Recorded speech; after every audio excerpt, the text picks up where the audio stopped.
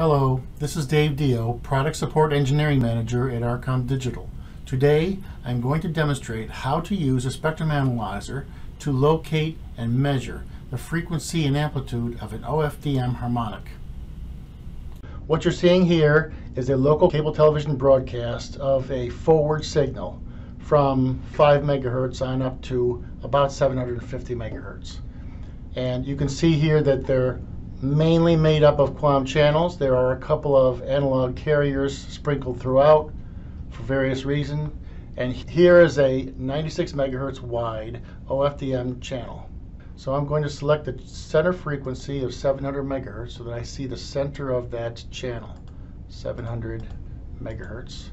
And I'm going to change my span to zoom into that OFDM channel.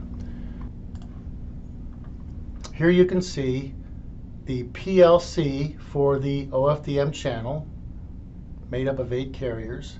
And from the PLC, you can see harmonic carriers that are sprinkled throughout the 96 megahertz span.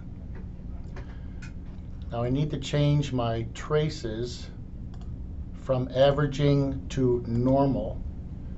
And now I'm going to zoom in on a particular harmonic. And I happen to know that a harmonic exists at 703.159856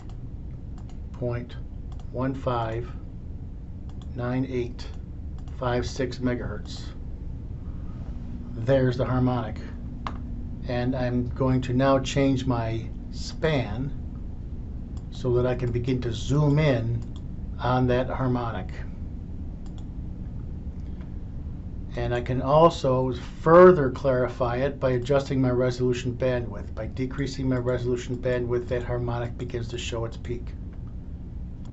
If I put a marker at the peak of the harmonic, I can see that the harmonic is at 703.159856 megahertz as predicted and the marker is about minus 1.2 dBmV. That means that the OFDM channel power is going to be at plus 13.75 dBmV. Said otherwise, the OFDM harmonic is minus 15 dBc of the OFDM channel power.